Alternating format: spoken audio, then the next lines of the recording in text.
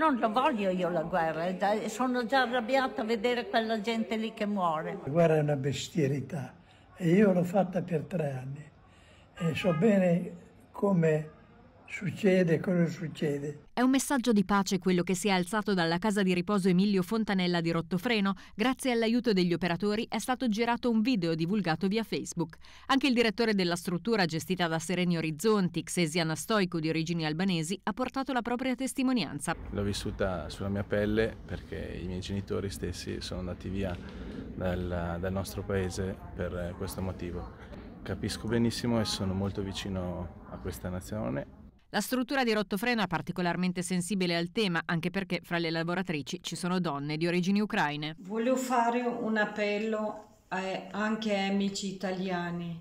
Lo so che siete generosi e accoglienti nei confronti del popolo ucraino.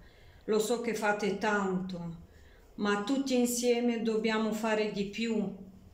Dobbiamo chiedere che sia messa fine a questa guerra inutile eh, ingiusta che porta solo distruzione e la morte.